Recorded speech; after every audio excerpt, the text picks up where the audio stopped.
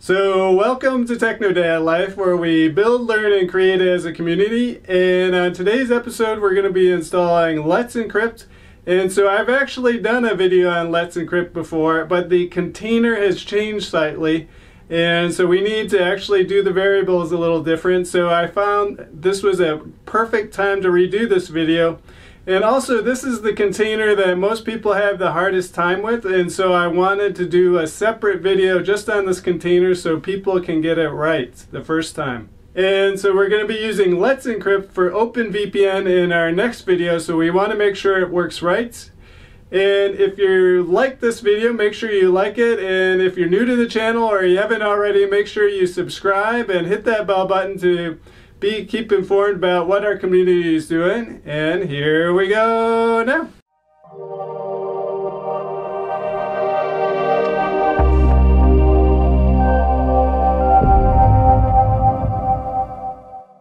Okay, let's get started. So first we need to go to the top right here. We're gonna type in Let's Encrypt. And we're gonna click on the Linux server, Let's Encrypt. We're gonna click Info. And that brings up our Linux server. We go down the usage page. We're going to go back. We're going to click Start. When that's done, we're going to click Close. And next what we're going to do is go to Shell in the Box. Double click that. Go to Web clients, Log in as root and your password. Next, we're going to find our UID and our GID. And so we're going to type in ID and then our username. My user is user1. Hit enter. Copy down your UID, which for me is 1000, in my, and your GID, which is 100. Next, we're going to create a Docker network. And so we're going to type in Docker space network space create.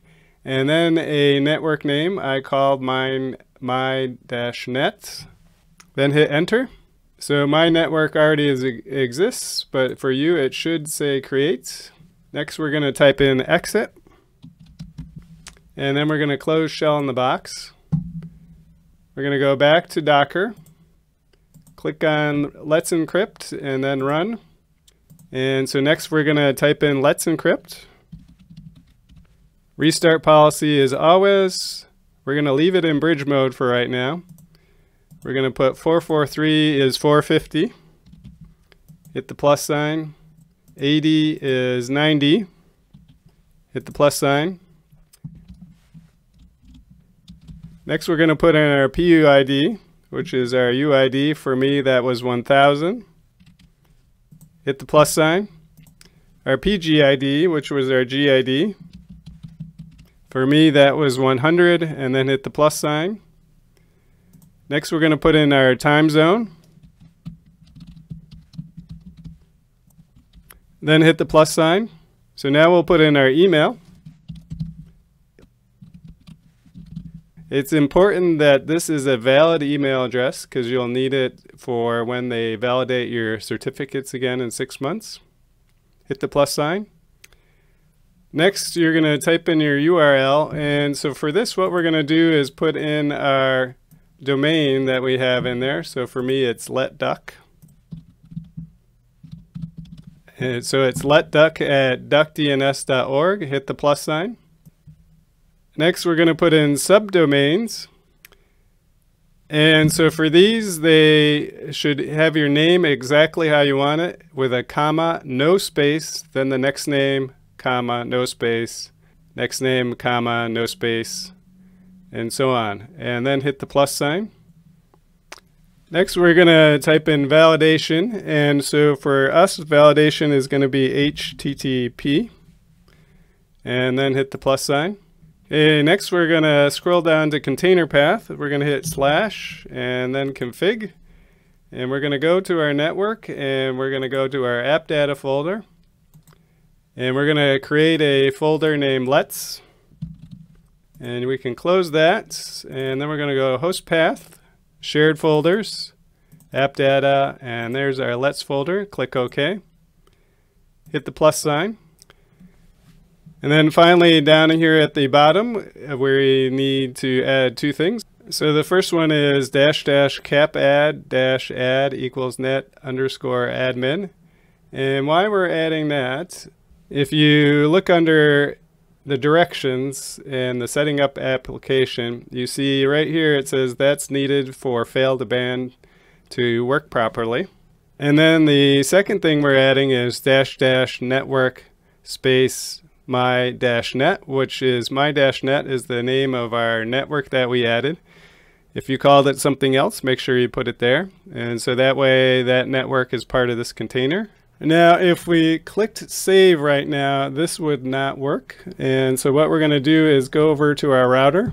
So next we're going to forward our ports. And if you remember, we did 80 to 90. So we're going to do external 80 to internal 90.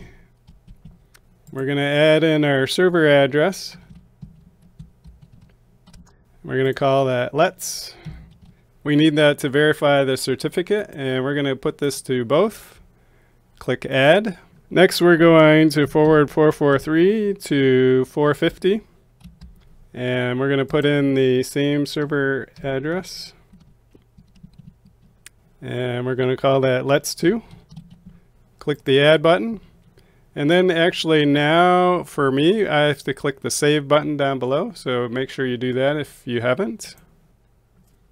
That will restart your router or update the settings on your router. And so now when we go back to our container, we're going to click save. So next we're going to go back to shell in the box again. So click on shell in the box. Click web client and log in again.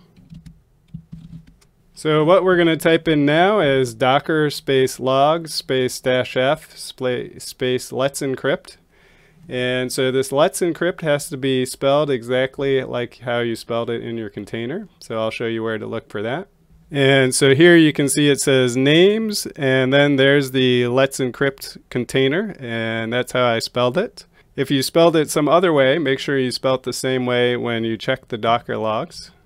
And so now we're going to hit enter. And so here you can see that it says congratulations, the certificates have been made. And so now our Let's Encrypt container should be ready. So let's go to a new tab and type in our DuckDNS address. Okay, and so there is our address. Let's click on it.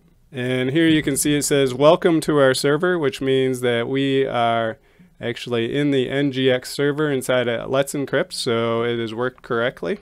Let's go back to Shell in the Box for a second. And so if you get to this page, and so if you uh, don't get congratulations here, usually it will tell you why it hasn't worked. And 99% of the time, it's because you haven't forwarded your ports correctly. So that's how we set up Let's Encrypt, which we're going to be using for OpenVPN in our next video. So make sure you have DuckDNS and or Let's Encrypt all set up correctly before you move on to the next video. And if you like this video, make sure you like it. And if you haven't subscribed already, make sure you subscribe and we'll see you next time. Bye-bye.